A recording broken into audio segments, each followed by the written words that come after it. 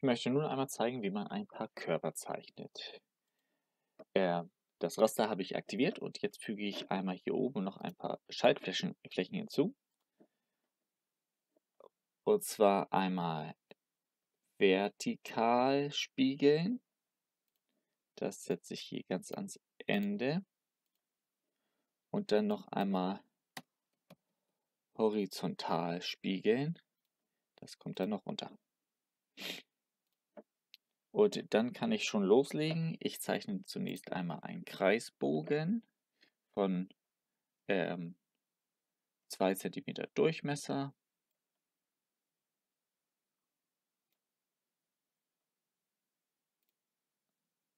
Und jetzt habe ich den Kreisbogen. Dann ähm, minimiere ich die Höhe und ähm, die Höhe setze ich dann auf einen halben Zentimeter. Und dann äh, dupliziere ich das und ups, das hat er nicht dupliziert. Jetzt. Ähm, dann spiegel ich das einmal und setze das hier einmal an.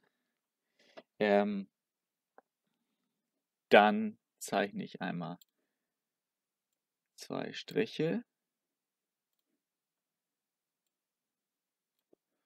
Und das obere Konstrukt, das dupliziere ich jetzt einmal nach unten und klicke auf die hintere Linie Ähm, da. Ja. Irgendwie kann er sich jetzt gerade nicht erkennen. Jetzt ändere ich die Linienform auf hm, Doppelstrich und schon habe ich meinen Körper gezeichnet. Und das kann ich jetzt auch noch mal einmal verwenden, indem ich das hier dupliziere und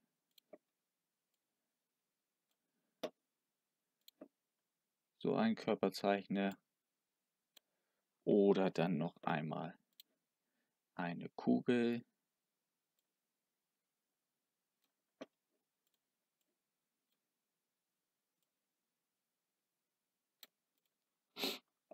Oder dann noch mal einen Würfel. Auch hier könnte ich jetzt ähm, ein Rechteck benutzen, aber weil ich die Linien später wieder einfärbe, nehme ich vier einzelne Striche und dupliziere das jetzt einmal.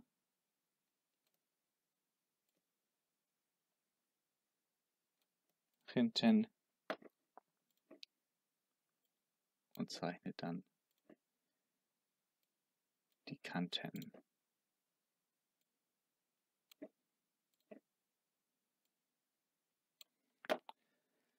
Auch hier kann ich jetzt die Kante abändern, den doppelten Strich, kann jetzt hier auch den Pinsel nehmen und kann das dann übertragen. Ähm, da habe ich einen Fehler gemacht. Das ist die falsche Kante.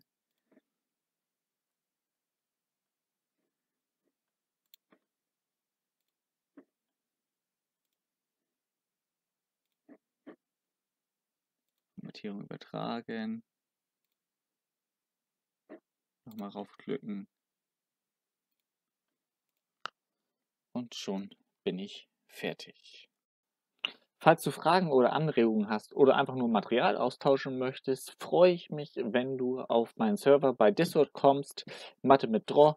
Den ähm, Link zu der Einladung, den findest du unter dem Video.